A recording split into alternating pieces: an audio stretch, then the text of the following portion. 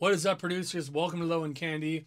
I am Bohemoth, and today this is going to be a quick little tip about how to leave notes on your session and MIDI notes and Notepad. So, quick little tip. Some of you may know this, some of you may not, but it's very helpful. It's a lot easier than using warp markers, which is a can be a nightmare, and it's it's just kind of unnecessary. So over here in an Ableton track,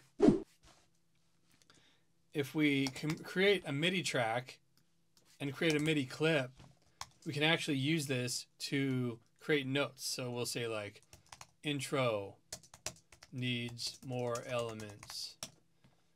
And then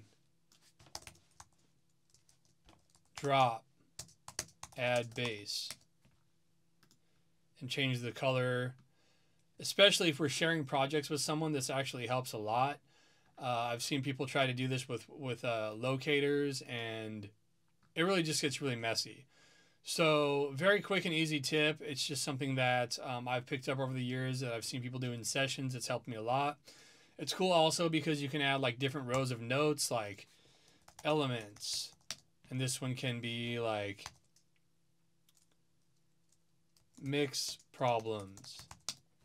We can do like hats too loud and color or whatever, whatever. So this is really good to do, like I was saying, especially when sharing a session.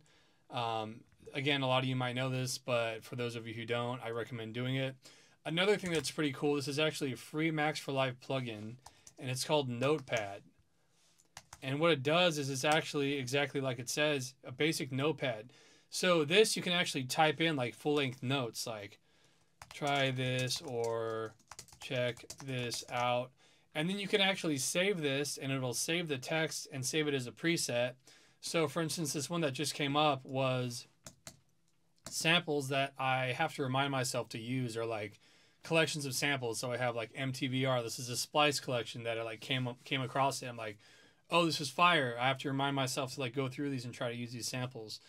And now when I open a notepad, I have this here. So Super cool little Max for Live device. I'll link it in the description. It's free. And yeah, that's uh, pretty much it. I know this is a short one. Just wanted to show this to you, and I'll see you next time.